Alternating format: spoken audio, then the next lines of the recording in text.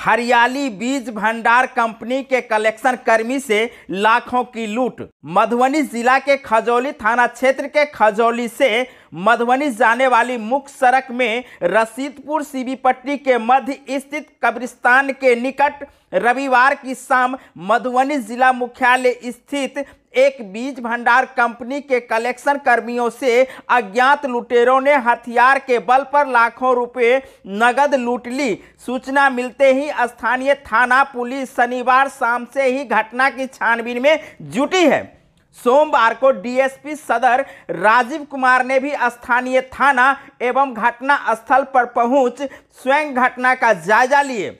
इस सिलसिले में कंपनी के कलेक्शन कर्मी एवं दरभंगा ज़िले के कमतौल थाना क्षेत्र निवासी चंद्रशेखर मिश्र के लिखित आवेदन पर सोमवार को स्थानीय थाना में एक मामला दर्ज किया गया है। दर्ज मामले में कहा गया है कि शनिवार को वे अपने सहयोगी एवं दरभंगा ज़िले के सकरी थाना क्षेत्र निवासी अनीश कुमार के साथ कंपनी की तगादा वसूली करने बाइक से निकले।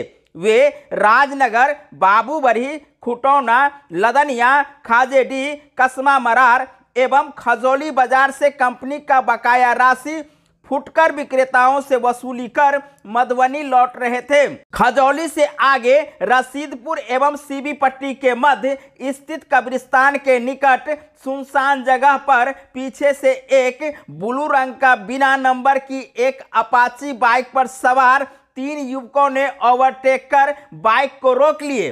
बदमाश युवकों ने गाली देते हुए बाइक को गिरा दिए और पिस्टल सटाकर मेरे और सहयोगी के पास से कलेक्शन का पैसा रखे बैग तथा मोबाइल छीनकर सीवी पट्टी की ओर भाग निकला।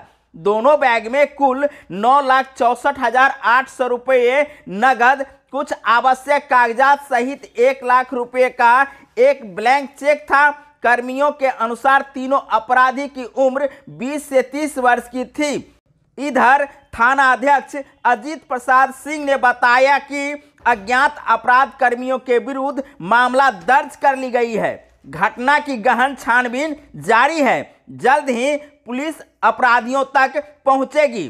खजौली से मिथिला दस्तक के खास रिपोर्टर मिथिलेश कुमार यादव की खास रिपोर्टें, जो अब तक की सनसनी फैलाने वाली एक खबर है। बहुत बहुत धन्यवाद। हमारे साथ इसी प्रकार बने रहिए और देखते रहिए मिथिला दस्तक की खास खबरें।